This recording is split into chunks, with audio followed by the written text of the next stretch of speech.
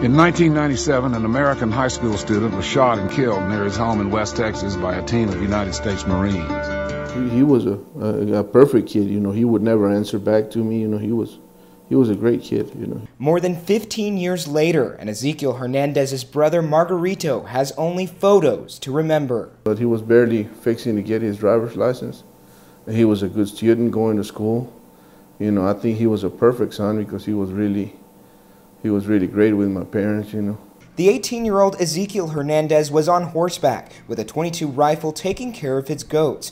A group of Marines deployed near the border mistook him for a drug runner. You know, he just ate supper, ate something, and had to go take care of his goats.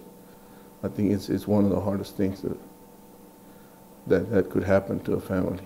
But really, you know, you never think about law enforcement coming to your house, you know, coming to your backyard and taking your, your brother's life or your son's life. Hernandez was shot not far from the main road in Redford. News of more National Guard troops near the border was tough for family to hear. I don't, I don't see the, the, the reason or why they would bring military to the border.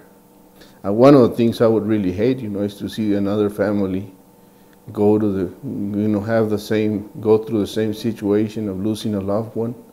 With an eye on Presidio, Matt Rist, CBS 7 News.